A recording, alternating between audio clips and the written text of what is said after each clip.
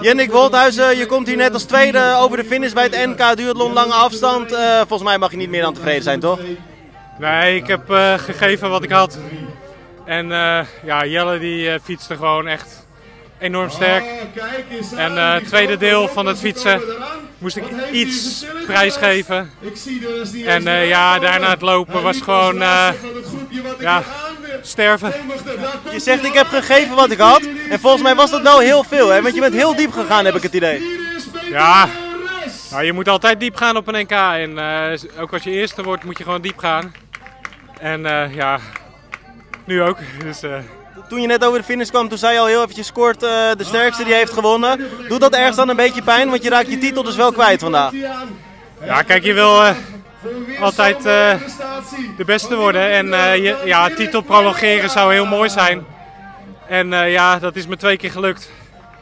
Maar eh, ja, niks dan chapeau voor, eh, voor Jelle. Je zei net ook, Jelle fietst heel erg sterk. Dat had je waarschijnlijk ook wel verwacht van zijn voormalige wielrenner. Eh, had je dit ingecalculeerd? Ja, nou ja, kijk, eh, hij was vlak hiervoor nog op eh, trainingsstage geweest naar, eh, naar Girona. Ja, dat is natuurlijk eh, ideale voorbereiding. En eh, ja, ik hoorde al van eh, insiders dat hij heel hard eh, aan het fietsen was. Dus eh, ja. Dan kom je op, eh, op een gegeven moment met iets meer dan een minuut, denk ik, eh, uit het hoofd gezegd, van de fiets af. Heb je dan nog enig idee of enige hoop dat je dat, je dat gat dicht kunt lopen? Of weet je dan eigenlijk al de wedstrijd is gedaan? Nou, ik, eh, ik probeer er nog voor te gaan en in het begin eh, ja, technisch goed te, te proberen te lopen.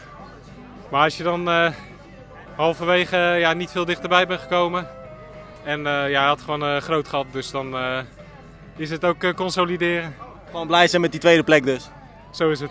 Gefeliciteerd. Dankjewel.